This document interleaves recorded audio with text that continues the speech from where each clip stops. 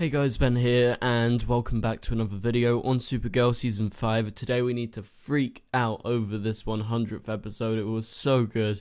We got the return of Mon-El, Samantha Arias, Reign, like, the list goes on, it was absolutely crazy. So if you do go on to enjoy the video, please be sure to leave a like and a comment, and subscribe if you're new so you don't miss any DC TV videos later this year. So, obviously there is so much to talk about, like, I've got a shit ton of notes about this episode because this is the big episode, it's been 100 episodes since Supergirl started back in October 2015. I'm very proud to say that I've been here since the very start, and I'm sure a lot of you guys have been as well, and so it's just really exciting to see it hit such a great milestone and bring back fan favourites like Mon-El and Reign, specifically for me because those are two of my favorite characters on the show, and it was totally freak out Central Zone because I was freaking out. I tried to record myself, potentially I might have my reactions up, but I don't know if I'll be able to use any footage or not because they always copyright me when I use footage, but I'll decide if I'm going to upload that reaction video or not, or if I keep it to myself because I don't know, I don't normally do reactions, but I thought I should record myself like reacting to, you know, the Mon-El and Reign stuff.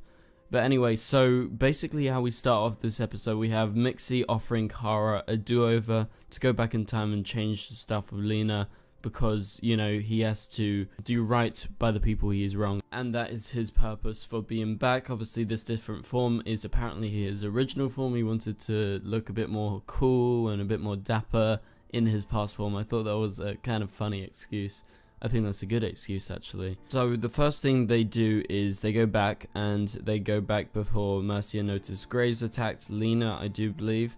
And so we see her in her old hairstyle, looks completely natural, completely, you know, the same. And I was really convinced that, you know, potentially this could have been footage from that season.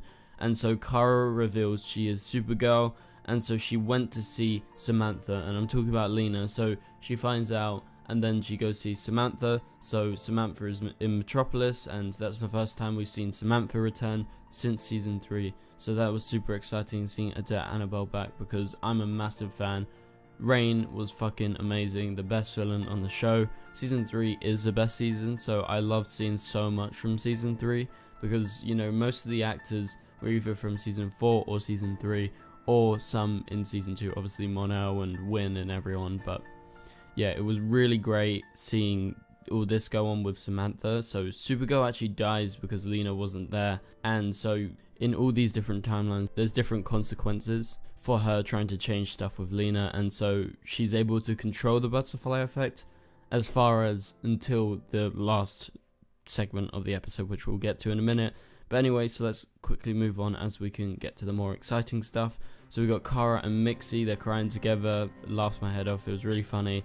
And then we get, on this old TV, we get to see Mon-El and the Legion in this flashback, and I'm not gonna lie, I kinda screamed when I saw Mon-El or like shouted, because you guys know he's like my favorite character bar Supergirl. So just seeing him back on the screen was super excited. That wasn't even like a proper scene, but anyway, so Kara goes back to when Lena actually still distrusts Supergirl and she tries to obviously tell her, look, it's me, Lena. I've always been Kara, and this is in season three.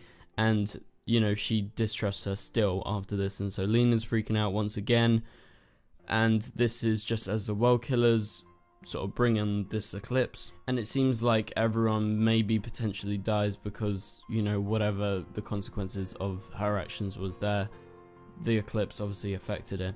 But anyway, so then we move on, and Kara spots Mon-El at a point where he's not supposed to be. So she's like, wait, was that Mon-El? Did Mon-El stay? And so, yeah, Mon-El is back, and I was like, holy shit, Mon-El is here. She wants to go back. She's like, can we go back? I need to talk to Mon-El right now. And so we go back, and he never left. And obviously, we would have loved if this was reality, but the consequences obviously were bigger than what happened before. So he's back and he gives some absolutely great advice to Kara. And I just love seeing them on screen. Obviously, Melissa and Chris are married now. So again, the chemistry is like always off the walls. But I felt like it was really strong, like maybe even stronger right now. And just seeing him give the advice, if you guys watch back the scene, it's so good. It's just so heartwarming. It's so Mon-El, and it's just absolutely precious. And you know, Mon-El was just you know being a good person. That is who he is. And so he's in costume. She's in costume. She's got this sort of wig on to have her old hair, but you know, it was just such a good scene. And then we get this scene. Reign returns. Mon-El and Lena show up, and obviously Lena shows up and she's using this device to try and stop her. And basically, what happens is the fight ensues. You remember it back in season three, we had this fight. You know, I think Reign flew away or something like that, and everyone was fine. But in this version, because she's changed time, Mon-El is dead, Lena is dead, everyone is freaking dead, and Reign is fine for now. But, so that was the consequences. Mon-El actually died in this version, and also Lena did as well, so it's not a reality that she wanted to stay in. But it was just great seeing Mon-El fighting with Kara, so we got some really cool Super Valor scenes in this episode. And I just really appreciated every moment we had. Also, every moment with Reign because Reign is so good, and I love Odette Annable so much. And so then we go back to before they were friends, so that being Lena and Kara and she tells her, you know, I'm Supergirl. And this was a great scene because I really got chills. It was just such a really nice scene paired with the music. It was very uplifting, very kind of season one like. And then we've got this really, really funny bit. Okay, I loved it. It was basically like a riff on like Avatar Last Airbender or like Legend of Korra when they do the news sort of article voice where it's like Supergirl cuts her hair and bangs are now in demand. Stuff like that. It sort of spins out very classical, sort of like Citizen Kane or something like that. And it was just so great and Mixie's doing the voice and you get to see him with the old radio mic and yeah, wow, that was a great scene and then we go back to that same scene though, like in the past and Supergirl and Lena are working together. But then you get Ben Lockwood showing up, and you have the cult of Rao making this church. Ben Lockwood is here. His family is dead. His son like jumped off a building because they all believed that Supergirl was going to, you know, save them, like we had back in season three. And so his family is all dead. Thomas Coville returns. That was a nice surprise.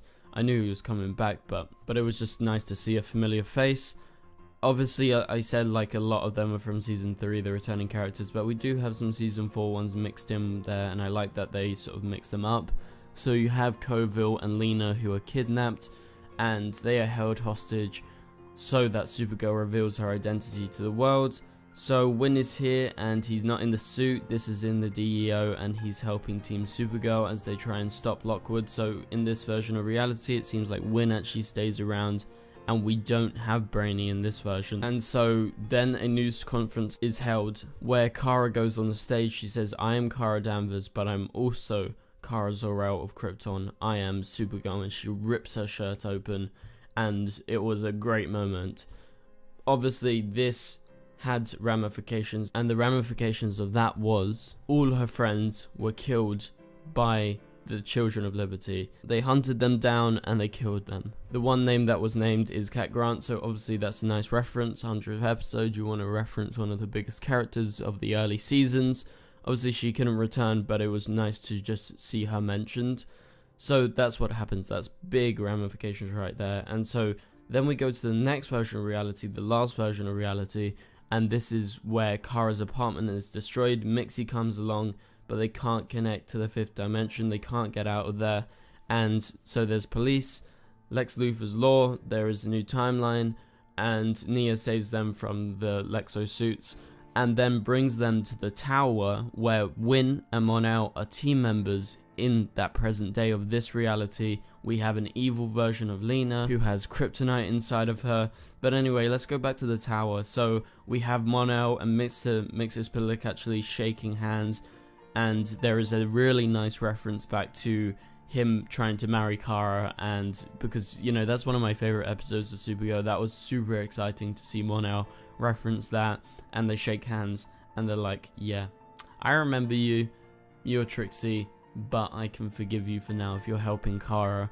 And so this version of reality you know the characters are the same apart from Lena but you've got Mon-El and Winn there helping as well because they are part of the team in this version. Also, Mon-El in this episode is wearing his suit. I don't know if they've upgraded it or not, but it looks pretty similar. So it could be the same or it could be like a little bit of an upgrade. But anyway, so Reign breaks in and she wants Mr. Mix's Mxyzptlk because Lena is in need of capturing him because he's trying to harness her fifth dimensional energy that she has got harnessed now.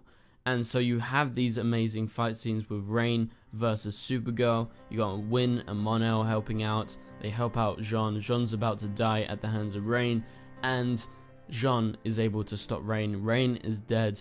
And obviously in this version that means that Samantha is dead as well. However, they stop her. And so, yeah, Winn and Mon-El are a good help to J'onn.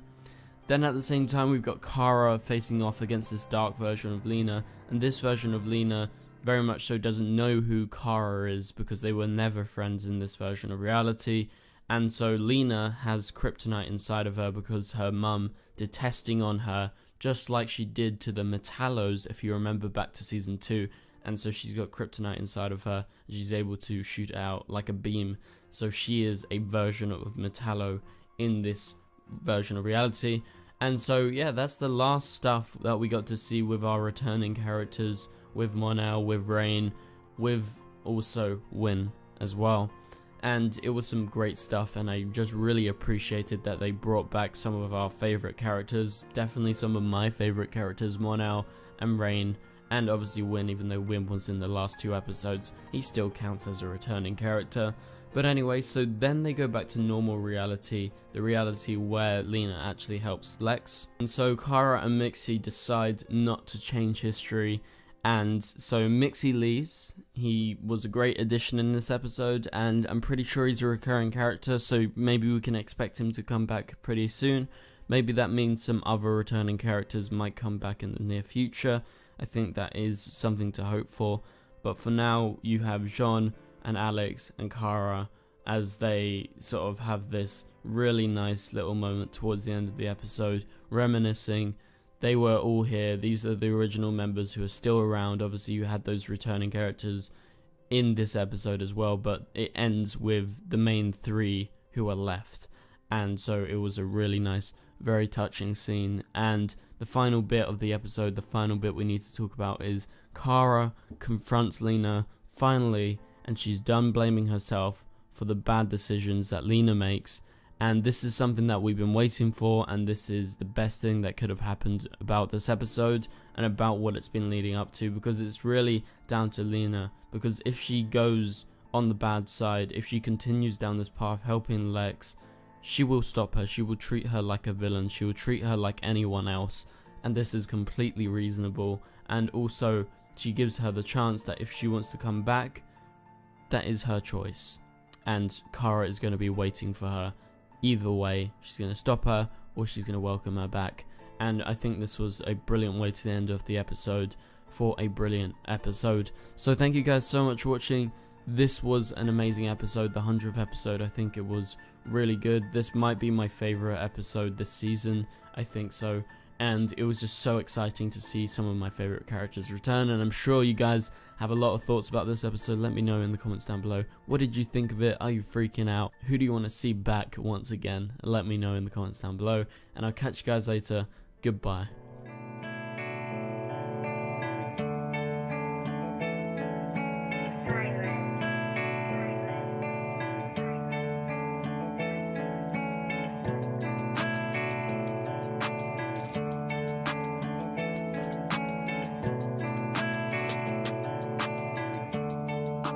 See red.